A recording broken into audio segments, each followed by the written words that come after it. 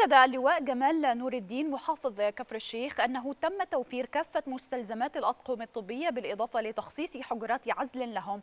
وأشار المحافظ في تصريحات لأكسترا نيوز إلى أنه تم تخصيص مبنيين كعيادتين تابعتين للتأمين الصحي بكفر الشيخ لتقديم الخدمات الطبية.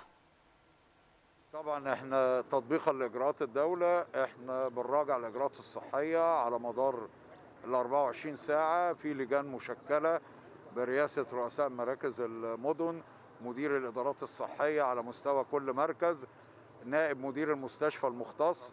عندنا 13 مستشفى مخصصة لمواجهة إجراءات الكورونا. عندنا مستشفى للعزل. حقيقة أنا بشكر الأطقم الطبية. عندنا على أعلى مستوى بقيادتها بتأدي الخدمة ما بتقابل المواطن بطريقة جيدة. الإجراءات بتتم لو مخالط أو خلافه بتصرف شنطة طبية للعلاج المنزلي.